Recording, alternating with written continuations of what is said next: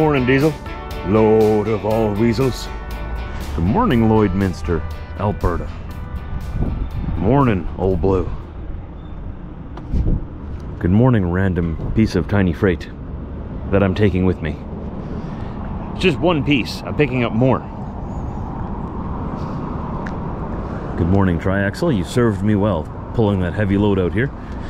The load going back is going to be a little lighter.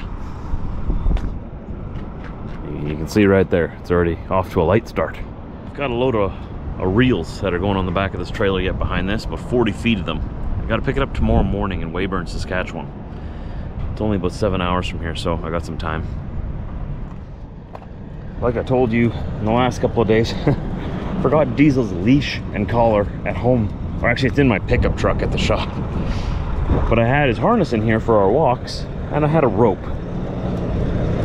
He doesn't really need it, but you know, this is just for my peace of mind. And when we're walking around big moving vehicles and in town and stuff, well, in a lot of places it's law, I have to have him on some kind of leash. And other times it's just, I want to make sure that uh, he's safe. It's for his safety. I don't want him you know, darting out behind a truck or something. All right, so before we get going, I want to fuel up here in Lloydminster on the Alberta side because they got cheaper fuel. So uh, they are up here, just around the corner from where I am. So I can take that road that way and then go up from there. Five minute drive. Go and fuel up the tanks here where we get some cheaper juice. we'll head out. All aboard. Diesel, you ate all your breakfast? Such a good boy. He's been eating so well on this trip. It's good.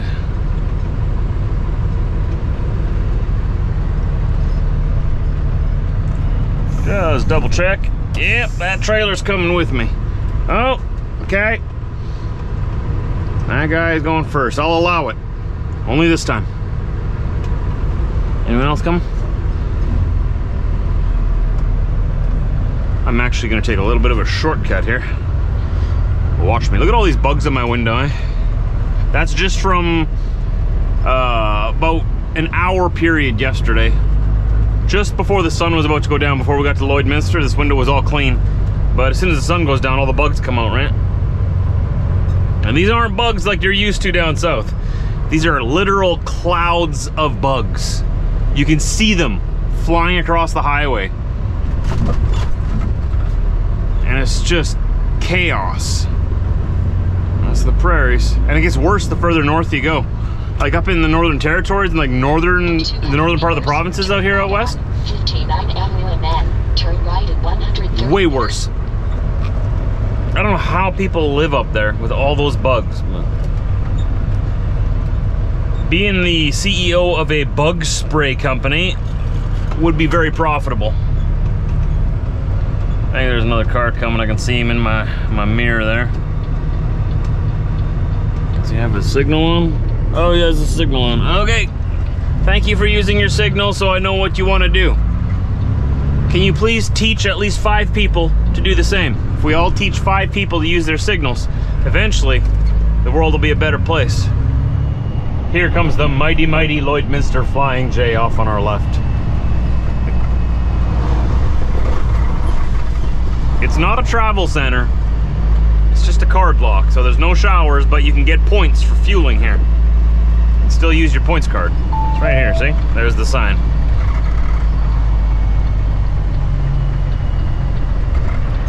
A little bit of a tight corner.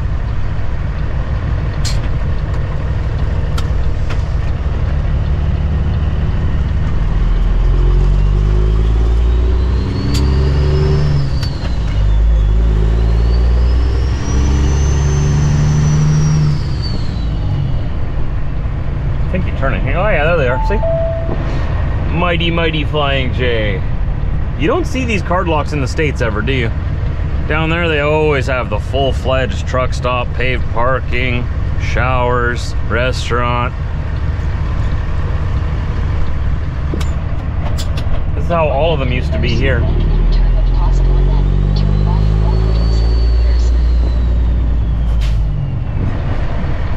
Achoo! Achoo! Using me. Woo!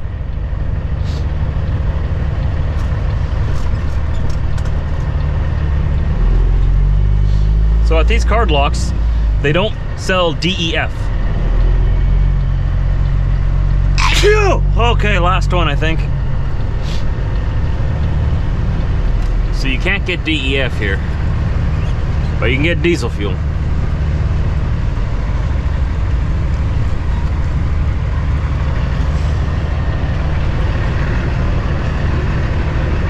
All right. Looks like that one's in better shape over there. Ah, should be okay. We should be okay. All right, let's fuel up and let's hit the road.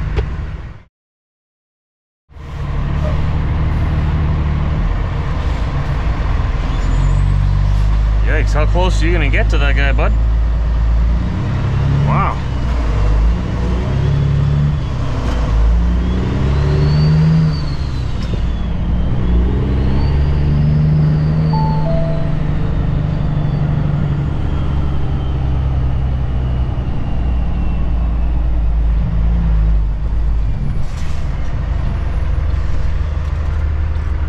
Ah, almost made it.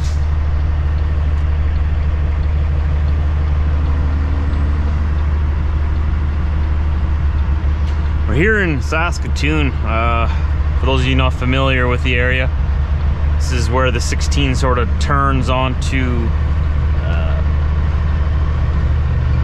this street here. They haven't quite created a proper bypass around Saskatoon. Saskatchewan's working on it though. They got a pretty good bypass going around Regina. Though I think that they, in my opinion, they built it around the wrong side of the city. They built it uh, so that the bypass connects uh, the, the 11 with the Trans-Canada West on the west side of town, right? But people coming down the 11 aren't going to use that because if you're coming down the 11 and you're going west on the Trans-Canada, you're probably going to take the highway from Chamberlain down to Moose Jaw. I'm talking to people who are familiar with the map now and familiar with what I'm talking about. That's how you go west from the 11, right? No one's going to use that bypass. However, going from the 11 to east to go to Winnipeg, if they would have built the bypass around there to meet up in Balgonie at the Flying J there, that would have been a much better highway, much more used road. But they do have the bypass that goes around the south end of the city for east to west traffic that wants to bypass Regina. Though if they would have gone around the north side of the city, I just think that that would have made more sense, but there's probably issues with that.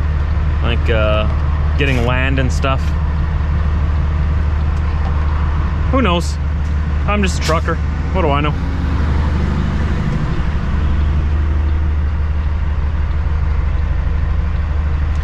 Highways cost a lot of money to build, and Saskatchewan doesn't have that big of a population. It's spread out over a huge area.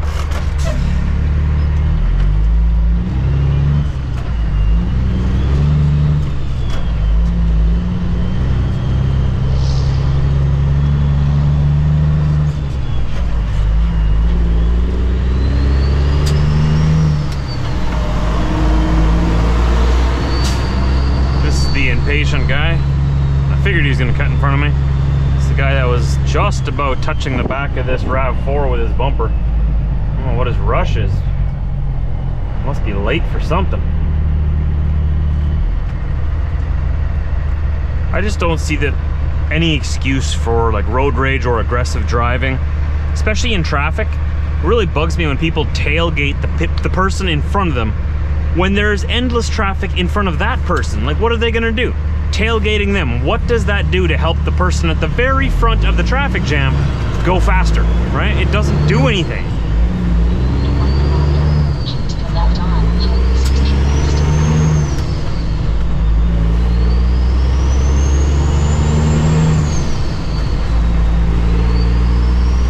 tailgaters are, uh, or tailgating is among my highest of high pet peeves.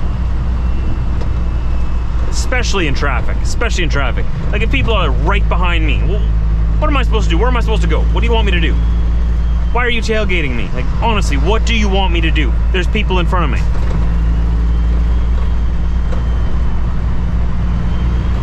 Usually people tailgate me, it makes me go slower.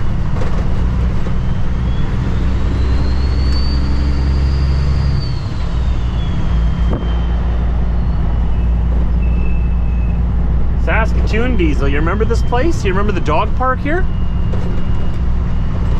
They have a really nice dog park. Don't judge the city by this one terrible stretch of road. It's actually a really nice city. It's just, this stretch of road is just, and, and it was under construction for the longest time, right? We thought they were fixing it. No, they just put the cones up for a while, and now they took the cones away. It's it's not fixed. they didn't even touch it. I don't know what they were doing. They didn't even paint the lines. I don't know where the lane is. Sort of got a guesstimate whereabouts the lane is. Oh, here's some of the lines. A little bit faded. Ah, Saskatoon, we love you. We love you. Don't understand you, but we love you.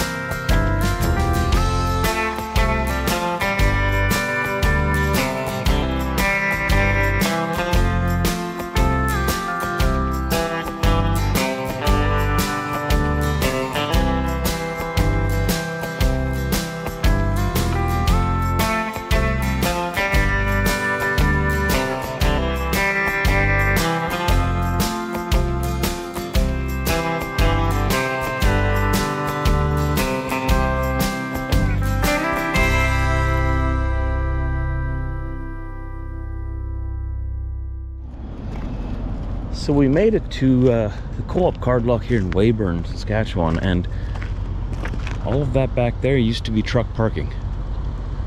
Now it's a home center. But we can still park up here.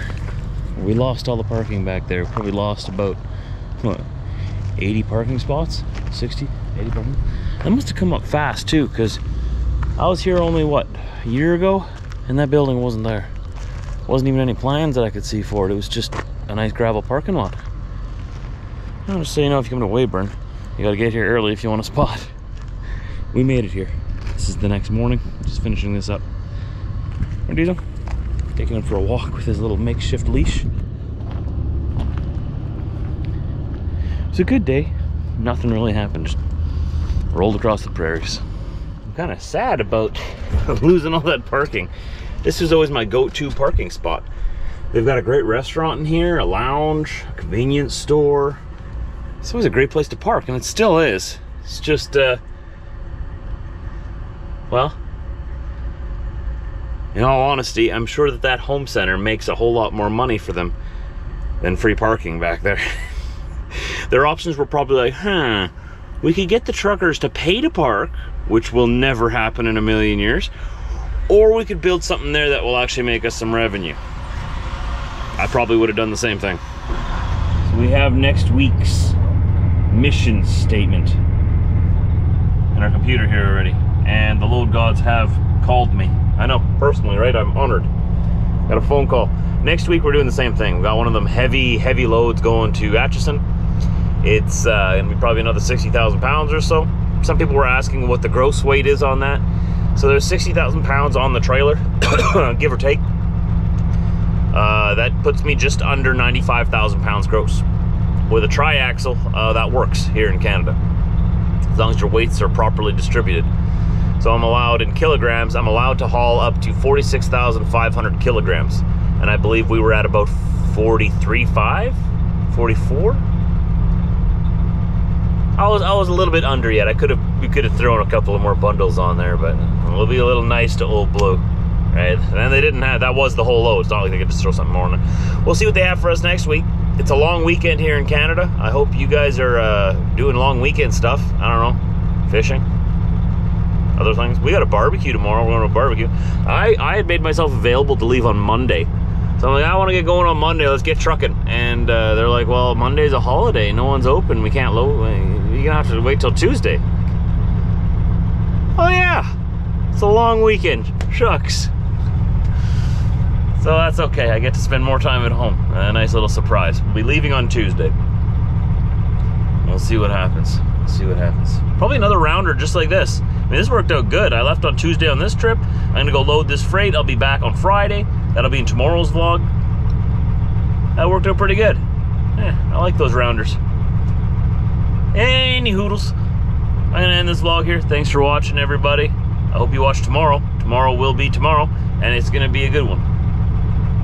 I'll see you then. Don't forget to subscribe, ring that bell beside the subscribe button, because I don't release my vlogs at specific times. It's it's just very difficult for me to do that. So in order for you to know when I release my videos, you gotta ring the bell so that it'll send you a notification. You know, hey, watch Trucker Josh, stop what you're doing now. I don't care if you're a cop and you're in the middle of writing a ticket. Put the paper down, put the pen down, watch Trucker Josh, okay? That's what that ding means. The, the person in the car in front of you can wait. They can sweat. they won't know what you're doing. oh, that would be funny. No, no one's gonna do that. I'm gonna do that. I don't care. Whatever you're doing, hope you're in a safe place. Uh, and we'll tune in tomorrow. Take care, everybody. Hey, Diesel. Hey, say something. Say something. I'm a yoy. This is my window.